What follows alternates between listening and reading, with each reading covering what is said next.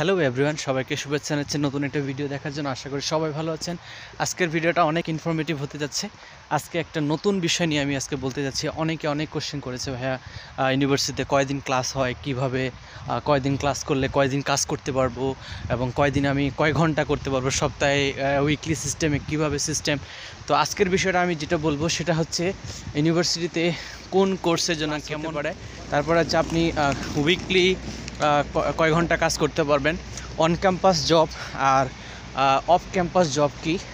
এটার উপরে আমি একটা আজকে ভিডিও করতে যাচ্ছি। এবং যেহেতু কাজ করতে পারবে। এর মধ্যে কেউ ভলেন্টারি জব করতে পারবে কি না যেটা আনপেড এবং পেড আছে সেই সিস্টেমের আমি একটা আজকের ভিডিওটা করতে যাচ্ছি।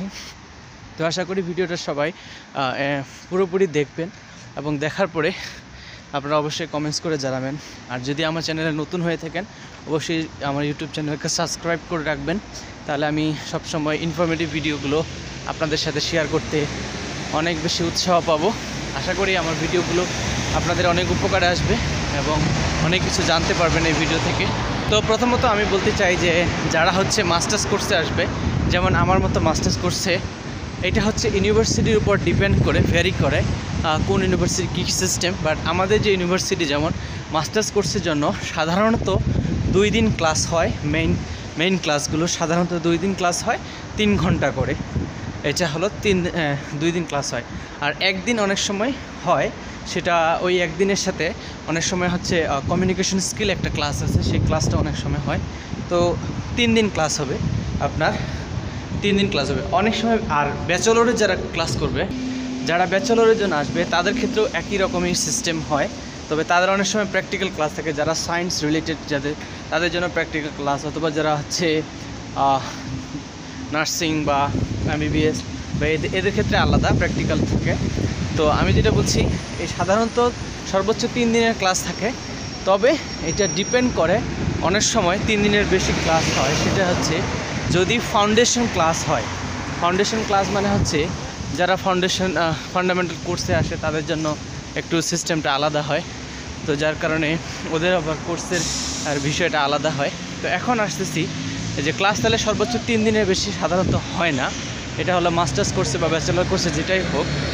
এই জন্য হচ্ছে যেহেতু কারণ স্টুডেন্টরা বিশ ঘণ্টা করে কাজ করার পারমিট পায়, তো তারা বিশ ঘণ্টা কাজও করে। এখন কথা হলো যে অন ক্যাম্পাস আর অফ ক্যাম্পাস জবটার মধ্যে কী পার্থক্য?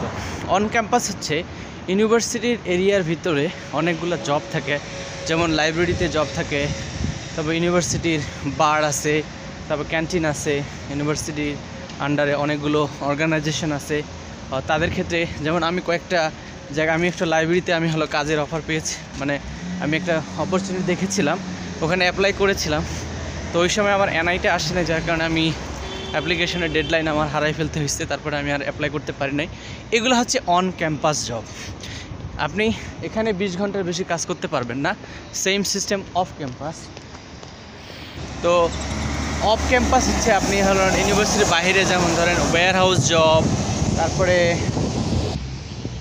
তারপরে মনে করেন বিভিন্ন রেস্টুরেন্ট যেমন ম্যাকডোনাল্ড কেএফসি তো ওই জবগুলোও এক ইউটি হচ্ছে আউট মানে অফ ক্যাম্পাস জব এগুলোর ক্ষেত্রেও বিশ ঘণ্টা কাজ করতে হবে। এখন কথা হলো যে ভলেন্টারিং কাজটা, যেটা হলো পেইড বা আনপেইড যেটাই হোক, যেটা আনপেইড কেন ভলেন্টিয়ারিংটা কাউন্ট হবে কি হবে না?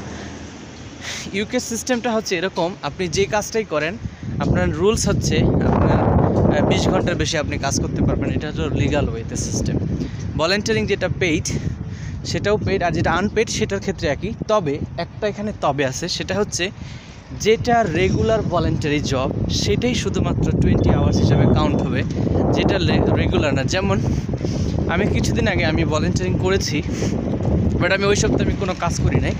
আমি শুধু ভলেন্টারিং করেছি কারণ আমার টাইমের সাথে কুলাচ্ছিল না, যার কারণে আমি করি নাই।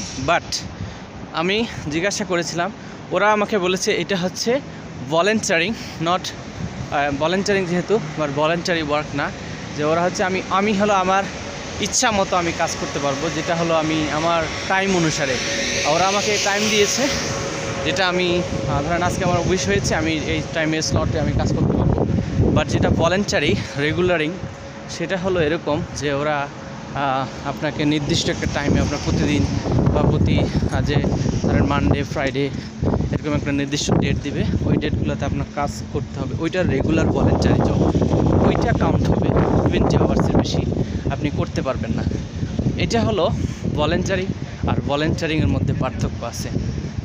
তো, এটা ছিল আজকের ভিডিও আর আমি নেক্সট ভিডিও যেটা করব সেটা হচ্ছে ইউকেতে লয়েস্ট ইউনিভার্সিটি মানে যেটা কম দামে ইউনিভার্সিটি আছে সেগুলোর উপর ভিডিও করব। তো আজকের বিষয়টা ক্লিয়ার করলাম। কয়দিন ক্লাস তো এখানে হলো ক্লাসের সিস্টেমটা যেটা বললাম এরকমই। দুই দিন হয় অনেক সময় তিন দিন হয় ক্লাস আর এখন যেহেতু অনলাইন ক্লাস হবে না দুই হাজার একুশ সালের সেপ্টেম্বর ইনটেক থেকে সবাই এখন অন ক্যাম্পাস ক্লাস করতে হবে এটা বাধ্যতামূলক হয়ে গেছে। ও। এই জন্য আর কি এখন সব কিছুই ক্যাম্পাস ক্লাস হচ্ছে। তো এখন এইগুলোর জন্যই হচ্ছে এই এই বিষয়গুলো। কারণ স্টুডেন্টরা দুই দিন দুই দিন ক্লাস করলে, বাকি তিন দিন হয়তো বা কাজ ইয়া করবে কাজ করবে টোয়েন্টি আওয়ার্স আবার অ্যাসাইনমেন্ট আছে। সো এই, বিশেষ করে আমরা সাধারণত উইকডেতে কাজ করি উইকেন্ডে সরি উইকডে না উইকেন্ডে যেমন ফ্রাইডে অ্যান্ড স্যাটারডেতে কাজ করি। ফ্রাইডেতে আর স্যাটারডেতে আমার ক্লাস থাকে না। ম্যাক্সিমাম ক্লাসগুলো এরকমই হয় মানডে থেকে সার্চের ভিতরেই ক্লাসগুলো পড়ে। সবার ক্ষেত্রে একই সিস্টেম হয়, সাধারণত। বাট কিছু কিছু ক্ষেত্রে ভিন্ন আসে। বাট এটা ডিপেন্ডস করে হলো ইউনিভার্সিটির উপরে কোর্সের উপরে। তো এরকম ছিল আর কি। ইউনিভার্সিটিতে কয়দিন ক্লাস হবে, কয়দিন হবে না। তো আপনারা যারা ইউকেতে আসতে চাচ্ছেন বা স্টাডি করতে আসতেছেন, কাজ করতে পারবেন কি না কয়দিন করতে পারবেন, কোন দিন করতে পারবেন, সেই বিষয়টা আপনাদের সাথে ক্লিয়ার করে দিলাম। আশা করি ভিডিওটা অনেক ইনফরমেটিভ ছিল। সো যদি ভালো লাগে, একটা লাইক করবেন। আর যদি কোনো কোশ্চেন থাকে, একটা কমেন্টস করবেন। আর অবশ্যই ভিডিওটা ভালো লাগলে আমার চ্যানেলটা সাবস্ক্রাইব করে রাখবেন। তো সবাই পাশে থাকবেন। দেখা হবে নতুন একটা ভিডিও ভালো থাকবেন।